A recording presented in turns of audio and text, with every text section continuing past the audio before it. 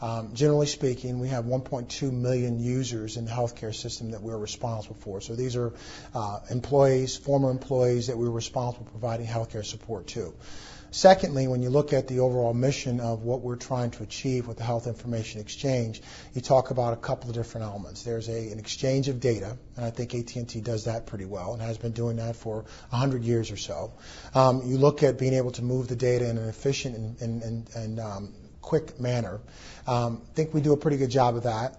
Um, some concern you might come into play about privacy and security, and, and AT&T has had a long-standing relationship in the in the industry as a premier security uh, data transfer organization.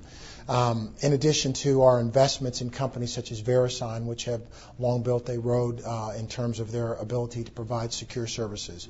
And then finally, you talk about being able to provide an extended network to the population, um, leveraging our tools, and then that comes into play our mobility solutions and our mobile network that we have in place. So ultimately, at this stage, in, in addressing the issues that HIE is attempting to address, AT&T, in my opinion, is the perfect partner to have for these problems.